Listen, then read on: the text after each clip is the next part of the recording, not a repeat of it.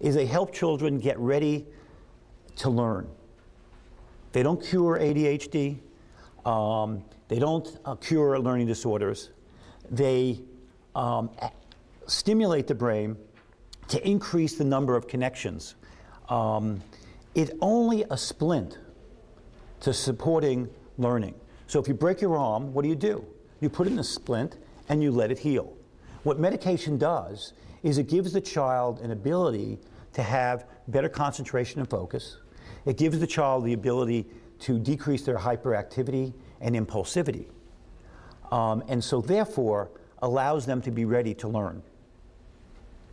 Now, what I'm going to talk about today is very quickly, I'm going to focus and teach you neurophysiology.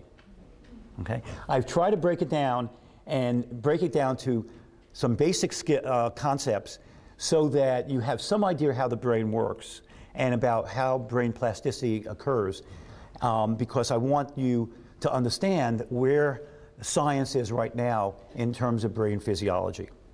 So we have different areas of the brain, as, as represented here. Different areas of the brain do different things.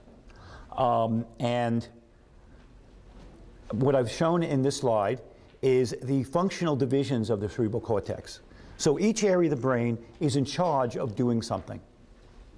And that's where um, memories are made in that stimulation format.